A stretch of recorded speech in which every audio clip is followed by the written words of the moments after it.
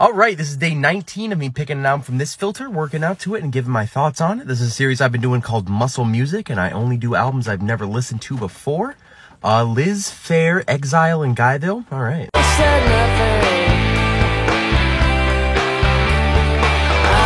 All right, we're back from the gym. We did our Stairmaster day, a little bit extra cardio in there as well. Here are my thoughts on Liz Phair's Exile in Guyville. So I had no idea who Liz Phair was. I was actually pretty excited to do this review because I could read the the list beforehand and I saw this album on the list. I was like, huh, never really heard that uh, that name, that Liz Phair before. And um, for my limited research, she's from Chicago, or at least that's where this album kind of got its uh, its start. Um, very early 90s, I think it was 93 when this was released. And it's very kind of the the beginnings of like indie rock this very like lo-fi sound coming out of there.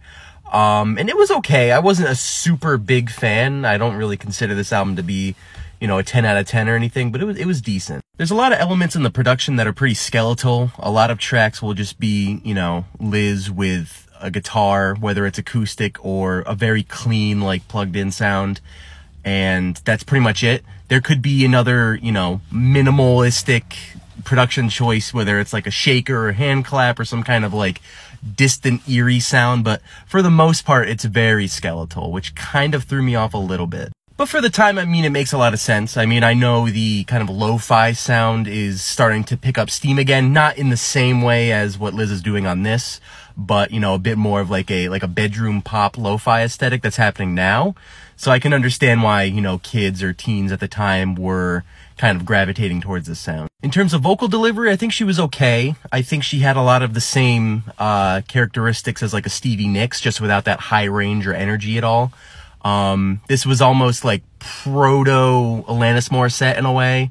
Um, I could see why Alanis might have drawn maybe a little inspiration from this, but um, yeah, those are what I'm drawing from her uh, voice. Overall, I thought it was pretty decent. It's nothing I was really head over heels about. I could see why it would lay the groundwork for other artists in the future, but, you know, on its face, it wasn't really doing a whole lot for me. So my favorite tracks have to go to Six Foot One, Stratford On Guy, as well as Never Said. That was probably my favorite. In terms of working out to it, I probably wouldn't recommend it. It was fine in a cardio setting, but if you're doing something a bit more high intensity, I, I wouldn't really recommend it.